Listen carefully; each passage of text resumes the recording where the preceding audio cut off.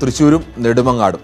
രണ്ടും C P ഐയുടെ മണ്ഡലങ്ങളാണ്. ഇവിടുത്തെ വിജയത്തിന് ലേശം കൗതുകം കൂടിയുണ്ട്. കോൺഗ്രസിൽ നിന്നും കഴിഞ്ഞ തവണ പിടിച്ചെടുത്തതാണ് ഈ രണ്ടു മണ്ഡലങ്ങളും. രണ്ടിടത്തേക്കും സി പി ഐ കഴിഞ്ഞ തവണ നിയോഗിച്ചത് മറ്റു രണ്ട് സി പി ഐയുടെ ഉറച്ച മണ്ഡലങ്ങളിൽ ജയിച്ച എം എൽ എമാരെയാണ്. തൃശ്ശൂരിൽ കൈപ്പമംഗല എം എൽ എ ആയിരുന്ന സുനിൽകുമാറിനെയും Nedumangad Karunagappally M L A ആയിരുന്ന സി ദിവാകരനെയും. മണ്ഡലം തിരിച്ചുപിടിക്കുക എന്ന ലക്ഷ്യമായിരുന്നു ലക്ഷ്യത്തിലാണ് ഇത്തരമൊരു നിയോഗമെന്നാണ് പാർട്ടി ഔദ്യോഗികമായി പറയുന്നത്. എന്നാൽ അങ്ങനെയല്ല ചില പ്രധാന നേതാക്കളുടെ ഇഷ്ടക്കുറവാണ്. ഇവരെ ഇത്തരമൊരു വെല്ലുവിളിക്ക് മുന്നിലേക്ക് കിട്ടുന്ന തരത്തിലും ചർച്ചകൾ ഉണ്ടായിരുന്നു. എന്തായാലും ഇരുവരും വെല്ലുവിളി നേരിട്ട് മണ്ഡലം തിരിച്ചു പിടിച്ചു. പക്ഷേ ഇക്കുറി രണ്ടാൾക്കും പാർട്ടി മാനദണ്ഡത്തിൽ തട്ടി അവ- അവസരമില്ല എന്ന പ്രത്യേകത കൂടിയുണ്ട്.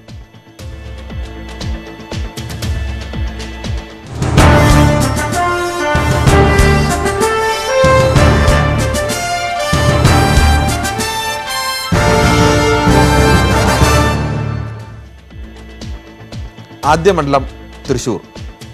തൃശൂരിന്റെ അടയാളം പൂരമാണ്.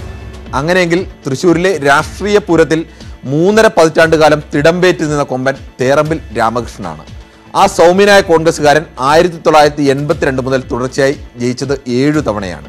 രണ്ടായിരത്തി പതിനാറിൽ കോൺഗ്രസിന്റെ കോട്ടയിൽ അനായാസ ജയം തേടി പത്മജ വേണുഗോപാൽ എത്തി അവസരം മുതലാക്കി മണ്ഡലം പിടിക്കാൻ കയ്പമംഗലത്ത് നിന്നും സൗമ്യനായ മറ്റൊരു കൊമ്പനെ സി പി ഐ ഇറക്കി വി എസ് സുനിൽകുമാർ. തേറമ്പിൽ പതിനാറായിരം വോട്ടിന് ജയിച്ച തൃശൂരിൽ സുനിൽകുമാർ ഏഴായിരം വോട്ടിന് പത്മജയെ വീഴ്ത്തി. ഏഴായിരത്തിൽ താഴെ മാത്രം വോട്ടുണ്ടായിരുന്ന ബി ജെ പി വോട്ട് വിഹിതം ഇരുപത്തയ്യായിരത്തോളമാക്കി ഇക്കുറി തൃശൂരിൽ കടുത്ത ത്രികോണ മത്സരം ഏകദേശം ഉറപ്പാണ്. തൃശൂരിൽ നിന്നും സുവി വിശ്വനാഥനാണ് സ്ഥാനാർത്ഥി സാധ്യതാ ചർച്ചകളുമായി എത്തുന്നത്. സുവി കഴിഞ്ഞ തവണ വലിയൊരു രാഷ്ട്രീയ പരീക്ഷയിലാണ് C P I V S സുനിൽകുമാറിനെ എടുത്തിട്ടത്. കോൺഗ്രസിന്റെ അന്നുവരെ കോട്ടയായിരുന്നു തൃശൂർ എന്ന് പറയുന്നത്. ആ കോട്ടയിലാണ് സുനിൽകുമാർ കഴിഞ്ഞ തവണ ജയിച്ചത്. ഇക്കുറി രണ്ട് തവണ ജയിച്ചവർക്ക് അവസരമില്ല എന്ന സി പി ഐ മാനദണ്ഡം കർക്ക- കർക്കശമാക്കിയിട്ടുണ്ട്.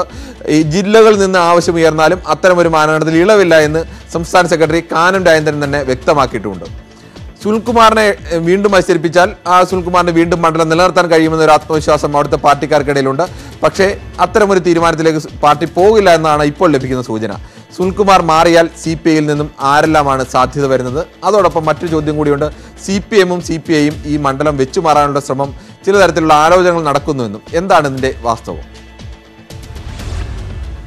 ഒരു കോൺഗ്രസ് അനുകൂല മണ്ഡലമാണ് തൃശൂർ എങ്കിൽ കൂടിയും കഴിഞ്ഞ തവണ പത്മജ വേണുഗോപാലിനെതിരെ അട്ടിമറി വിജയത്തിലൂടെ അട്ടിമറി വിജയമാണ് വി എസ് സുനിൽകുമാർ നേടിയെടുത്തത്.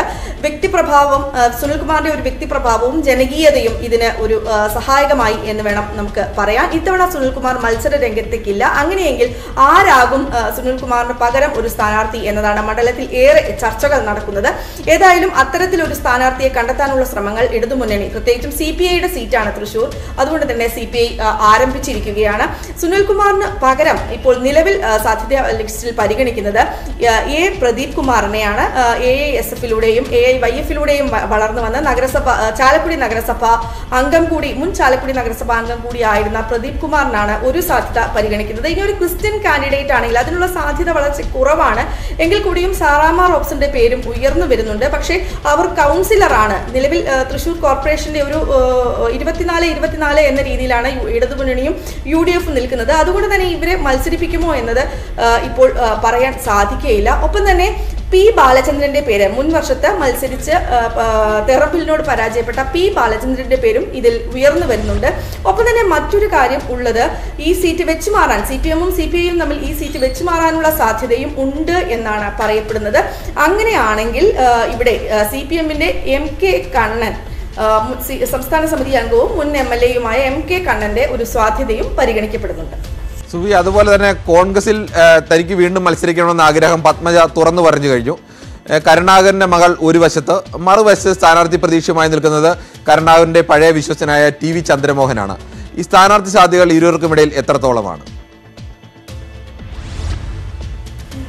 കോൺഗ്രസിന്റെ പട്ടികയിൽ ഉയർന്നു കേൾക്കുന്നത് പത്മജ വേണുഗോപാലിന്റെ പേരാണ്. സാധ്യതാ ലിസ്റ്റിൽ ഏറ്റവും മുൻപന്തിയിൽ നിൽക്കുന്നത് പത്മജ വേണുഗോപാലാണ് എന്നാണ് നമുക്ക് അറിയാൻ സാധിക്കുന്നത്. ഒപ്പം തന്നെ കഴിഞ്ഞ അഞ്ച് വർഷം വർഷക്കാലം കഴിഞ്ഞ തവണ അവർ മത്സരിച്ച് പരാജയപ്പെട്ടെങ്കിലും അതിലെ പാർട്ടിക്കകത്തുണ്ടായ ചില പ്രശ്നങ്ങളാണ് അവർ പരാജയപ്പെടാൻ കാരണം. ഒപ്പം തേറമ്പി രാമകൃഷ്ണന്റെ ചില പ്രശ്നങ്ങൾ കൂടെ അതിനകത്തുണ്ടായിരുന്നു എന്നാണ് ഒരു വിലയിരുത്തൽ. എന്നാൽ ഇത്തവണ അതൊന്നും തന്നെ ഇല്ല. ഒപ്പം അവർ കഴിഞ്ഞ അഞ്ച് വർഷക്കാലമായി തൃശ്ശൂരിൽ തന്നെ നിന്ന് പ്രവർത്തിച്ചു വരുന്ന ഒരു സ്ഥാനാർത്ഥിയാണ് എന്നാണ് പറയപ്പെടുന്നത്. പത്മജയ്ക്കാണ് പ്രഥമ സ്ഥാനം ഉള്ളത്. അല്ലെങ്കിൽ ടി വി ചന്ദ്രമോഹൻ. നേരത്തെ എം എൽ എ ആയിരുന്ന ഗുരുവായൂർ ദേവസ്വം ബോർഡ് ചെയർമാനായിരുന്ന ടി വി ചന്ദ്രമോഹന്റെ പേരും പരിഗണിക്കപ്പെടുന്നുണ്ട്. ഇദ്ദേഹം കരുണാകരന്റെ വിശ്വസ്തനായിരുന്നു. ഏതായാലും യു ഡി എഫിന് വേണ്ടിയിട്ട് ടി വി ചന്ദ്രമോഹനെയോ അല്ലെങ്കിൽ അതുപോലെ തന്നെ ബി ജെ പിയും ഏറെക്കുറെ പ്രതീക്ഷ വെക്കുന്ന ഒരു മണ്ഡലമാണ് തൃശൂർ. ഈയിടെ ബി ജെ പിക്ക് ലഭിച്ച ഒരു വലിയ മീൻ തന്നെയാണ് ഇ ശ്രീധരൻ. ആ ഇ ശ്രീധരന്റെ പേര് കേൾക്കുന്നുണ്ട്. അതോടൊപ്പം തന്നെ പഴയ ഡി ജി പി സെൻകുമാറിന്റെ പേര് കേൾക്കുന്നു. കഴിഞ്ഞ തവണ തൃശ്ശൂരിൽ നിന്ന് മത്സരിപ്പിച്ച് മത്സരിച്ച ബി ഗോപാലകൃഷ്ണന്റെ പേരുകൾ കേൾക്കുന്നു. സാധ്യതകൾ എത്രത്തോളമാണ്? ബി ജെ പിയെ സംബന്ധിച്ച് പറയുകയാണെങ്കിൽ ബി ജെ പി ഏറ്റവും പ്രതീക്ഷ വെച്ച് പുലർത്തുന്ന മണ്ഡലങ്ങളിൽ ഒന്നാണ് തൃശൂർ. അതുകൊണ്ട് തന്നെ ഒരു പ്രമുഖനായ സ്ഥാനാർത്ഥിയായിരിക്കും ഇവിടെ നിർത്തുക എന്നാണ് ബി ജെ പി വൃത്തങ്ങളിൽ നിന്ന് നമുക്ക് അറിയാൻ സാധിക്കുന്നത്. അതിൽ മുൻപന്തിയിൽ തന്നെ നിൽക്കുന്നത് മെട്രോമാൻ ഇ ശ്രീധരനാണ്. അദ്ദേഹം ഏറെക്കുറെ ഇവിടെ മത്സരിക്കും എന്ന കാര്യം ഉറപ്പായി കഴിഞ്ഞു. ഇനി അദ്ദേഹത്തിന് പാർട്ടി പറയുന്നത് അദ്ദേഹത്തോട് തൃശൂരിൽ മത്സരിക്കാൻ ഇനി അദ്ദേഹത്തിന്റെ ഒരു ചോയ്സ് മറ്റെന്തെങ്കിലും ആണെങ്കിൽ അതായത് പാലക്കാടേക്ക് അദ്ദേഹം പറയുകയാണെങ്കിൽ അദ്ദേഹം മാറാനുള്ള സാധ്യതയുണ്ട്. അങ്ങനെയാണെങ്കിൽ മുൻ ഡി ജി പി ആയിരുന്ന ടി പി സെൻകുമാർ മത്സരിക്കാനുള്ള ഒരു സാധ്യതയുണ്ട്. ഇരിങ്ങാലക്കുടയിൽ ജേക്കബ് തോമസ് അങ്ങനെയാണെങ്കിൽ ടി പി സെൻകുമാർ എന്ന ഒരു സാധ്യതയിലേക്കും കടക്കുന്നുണ്ട്.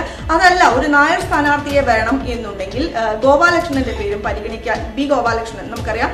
ബി ജെ പി വക്താവ് ബി ഗോപാലകൃഷ്ണന്റെ പേരും പരിഗണിക്കാൻ സാധ്യതയുണ്ട് എന്നാണ് അറിയാൻ സാധിക്കുന്നത്. കഴിഞ്ഞ ലോക്സഭാ തെരഞ്ഞെടുപ്പിൽ ഉൾപ്പെടെ സുരേഷ് ഗോപി ആയിരുന്നു അന്ന് സ്ഥാനാർത്ഥി. അന്നുൾപ്പെടെ വോട്ട് വർദ്ധിപ്പിക്കാൻ ബി ജെ പിക്ക് സാധിച്ചിട്ടുണ്ട്. തദ്ദേശ തെരഞ്ഞെടുപ്പിലും ക്രമാനുഗതമായി വോട്ട് വർധന ഉണ്ടായിട്ടുണ്ട്. അതുകൊണ്ട് തന്നെ ഇത്തവണയും കൂടുതൽ വോട്ട് ലഭിക്കും. അത് മികച്ച ഒരു സ്ഥാനാർത്ഥിയാണെങ്കിൽ കൂടുതൽ ഒരു വോട്ട് ലഭിക്കും എന്നാണ് ബി ജെ പി പ്രതീക്ഷിക്കുന്നത്.